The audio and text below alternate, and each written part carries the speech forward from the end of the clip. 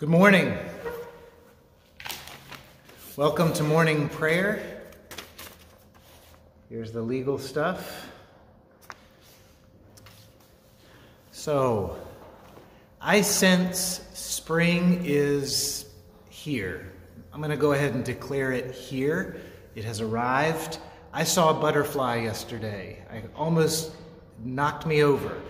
Uh, wasn't expecting to see a butterfly on March 8th when it was barely, it probably wouldn't even 60 degrees. But right here at church, I saw a real butterfly, and he was desperately trying to get warm and didn't like me bothering him. Uh, but he was sitting there in the sun. Today, he's going to be happier with how things are because uh, I think it's supposed to get up to 70. So, anyhow, uh, also heartened by yesterday's news that uh, they have that we had the first day since the pandemic began where the vac or excuse me where the virus the growth of this virus slowed down where the spread of the virus slowed down. So i took those two signs together to be a sign of new life and resurrection sent from god. Uh, maybe we're through the darkest part of all of this um, still not finished, but through the darkest part. My name is Philip Martin, and this is morning prayer with Epiphany Lutheran Church. Here we go. Uh, you don't need the. I don't need to write the words down to this because it's such a repetitive song, and actually the first part of it is uh, is uh, is echo. But um, from Micah, the Old Testament prophet Micah, chapter six, verse eight. He has showed you, O man, what is good and what is required of you, but to do justice, love kindness, and walk humbly with your God.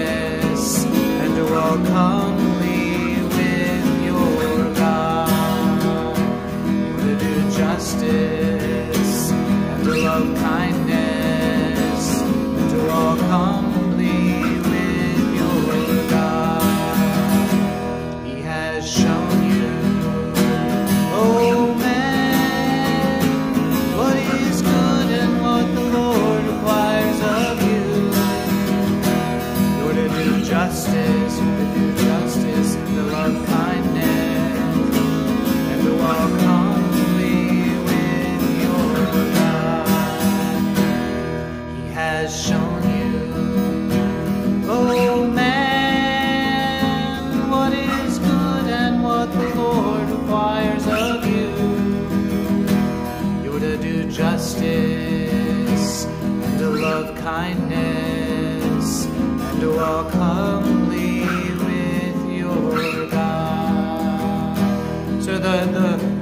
lines or the words of this song are just kind of like an echo. So if you uh, don't catch me when I'm singing it uh, with me right on time, then you can just repeat what I sang.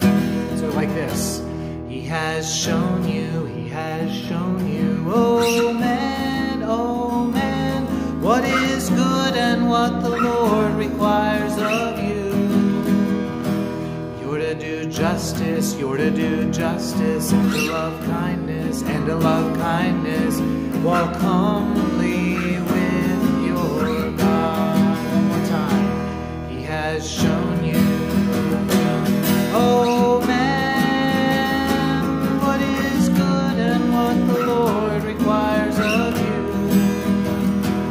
you. You're to do justice and to love kindness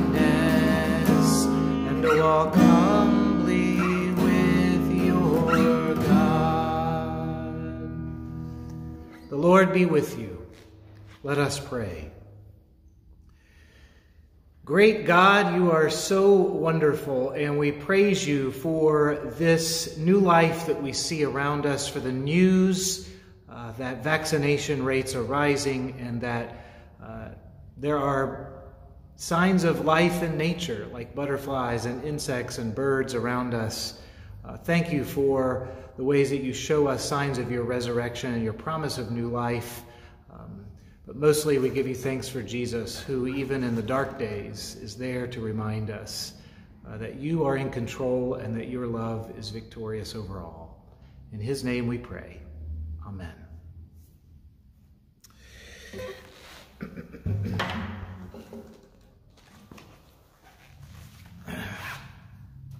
Happy to read our devotion this morning from seventh grader Arden Edison, who I can't wait to see Arden and Poppy, her mom, when they uh, when we're all able to gather again, um, and uh, kind of miss one of some of the many families that I miss being able to commune with and share uh, worship with. But Arden is here this morning in the words of her devotion.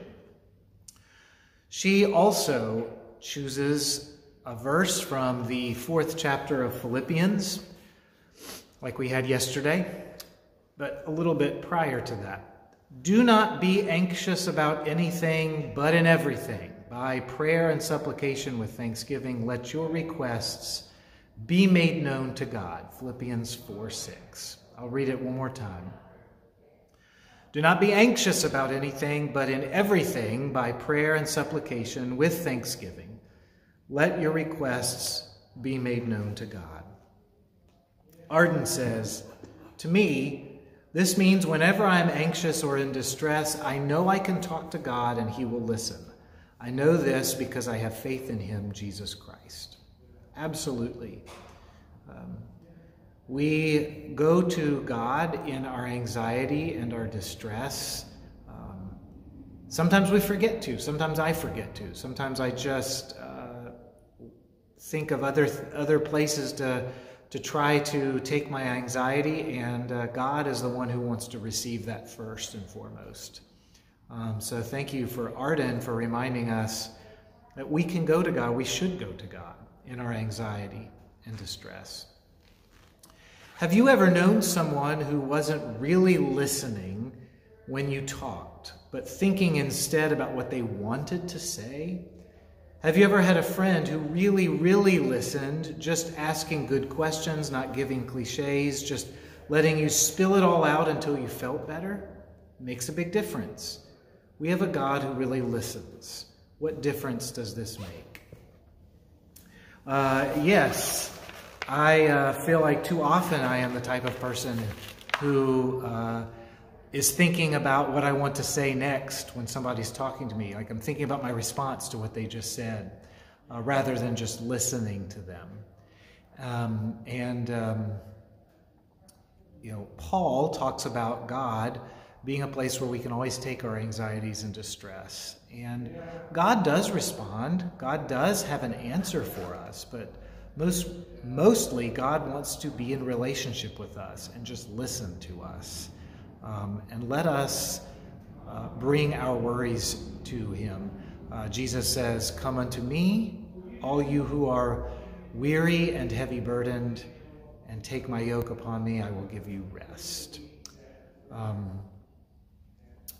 this part of Philippians uh, is important for us to remember because, and he says something, Paul says something similar in First Thessalonians, where he says, In everything, uh, let your requests be known to God in things with thanksgiving.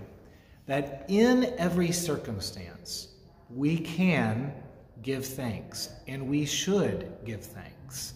Um, too often we, I think we morph this in our brain to say something like, um, like we think Paul is saying, give thanks for everything, as in, even in my anxious times or the things that are giving me anxiety and worry, that I should be able to give thanks to God for those things. And that's not what Paul says uh, here and in other places. He does say, in everything. And I do some may think that we're splitting hairs, but I think there's a big difference and an important difference. I can give thanks in the midst of my anxiety for things, and it, it kind of points me out of my anxiety for a moment to say, you know, I'm really stressed about this pandemic. Um, am I supposed to give thanks to God for the pandemic? No, I don't think so. But in this pandemic, it, just that looking around and saying, what are some things I can give God thanks for, um, makes me more grateful, um, and that will lessen my anxiety. Uh, we talk in confirmation about the fourth petition of the Lord's Prayer give us today our daily bread, and how those that powerful petition really does this for us. It just says, God, give me today what I need, just not just my food, but the things I need to get through the to, to take care of my bodily existence today. Give us today our daily bread. And when I realize that God will do that, that it, it puts me in a stance of thankfulness uh, rather than anxiety and anger and despair. And so, uh, good thing that Arden uh, has already kind of clued into this, um, even as, as a seventh grader, as a middle schooler. Um, days of feel, filling, filled with anxiety as I remember my own middle school times. Um, God really listens to us. So, with that in mind, uh, even though there are signs of good things going on right now, um, and I don't have a whole lot of anxiety about today or tomorrow, uh, maybe you do, um, and so we can join in prayer together. Gracious God,